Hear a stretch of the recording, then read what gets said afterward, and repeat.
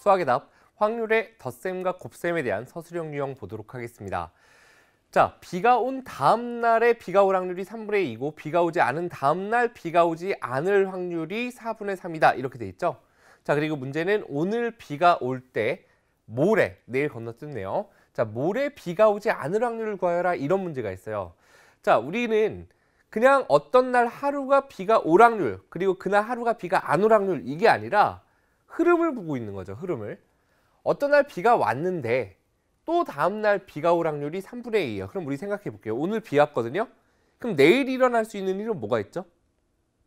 비가 오거나 안 오거나 둘 중에 하나야. 맞죠? 그러니까 우리는 비가 오는 것을 비 온다를 동그라미 오지 않는다. 비 오지 않는다. 서술형이니까 이렇게 표현을 한번 해볼게요.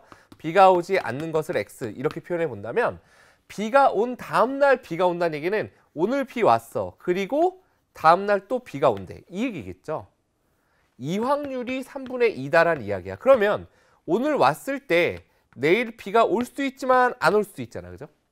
근데 오거나 안 오거나 둘 중에 하나니까 안 올 확률은 그러면 3분의 2를 어디서 1에서부터 빼준 3분의 1이 온 다음 날 안 올 확률입니다.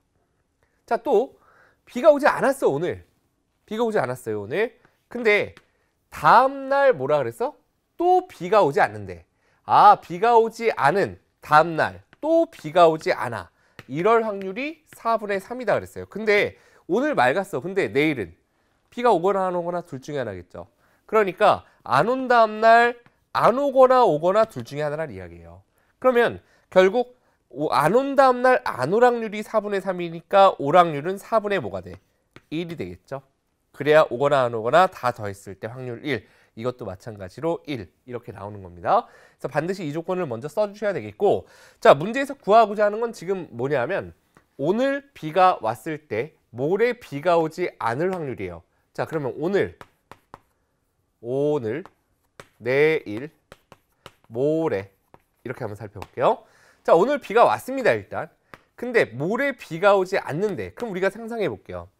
오늘 왔는데 내일까지 비가 오고 모레 안 올 수 있죠. 오늘 왔는데 내일도 오고 모레 안 올 수 있어요. 그죠? 근데 오늘만 오고 내일서부터는 쭉 안 올 수도 있어요. 이게 오늘 오고서 모레는 안 오는 경우죠.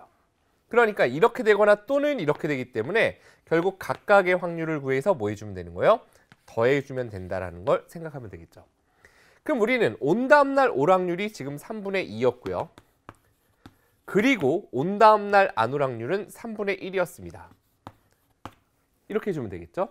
아래쪽은 어떻게 해주면 돼요? 온 다음날 안올 확률 3분의 1 그리고 안 온 다음날 또 안 와. 뭐예요? 바로 4분의 3이겠구나. 결국 이걸 계산해 보면 9분의 2가 될 테고 요건 4분의 1이죠. 약분돼서 그죠? 아 그런데 이렇게 되거나 또는 이렇게 되는 거니까 이 둘을 더하는 거다. 결국 9분의 2와 4분의 1을 더해주면 되니까 통분해 보면 36분의 8 더하기 9가 돼서 36분의 얼마가 된다? 17이 된다. 이렇게 여러분들께서 답을 구하는 형태입니다.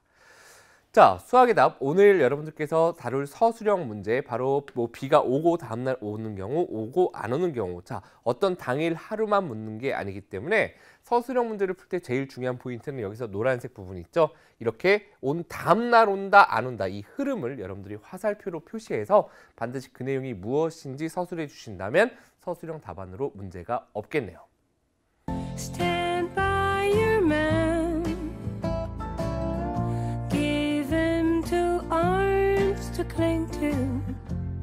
And something warm to come to when nights